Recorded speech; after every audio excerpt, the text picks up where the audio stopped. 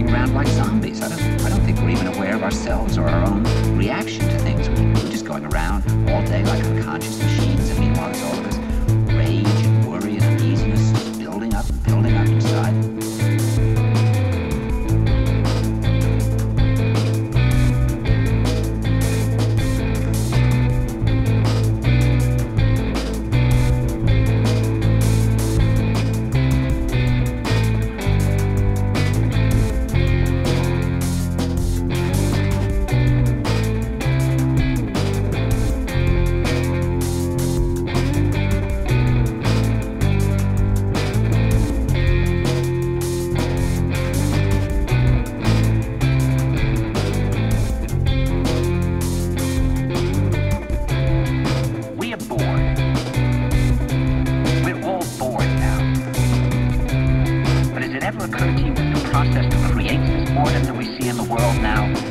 very well be a self-perpetuating, unconscious form of brainwashing created by a world totalitarian government based on money, and that all of this is much more dangerous than one thinks. And it's not just a question of individual survival, but that somebody who's bored is asleep, that somebody who's asleep will not say no.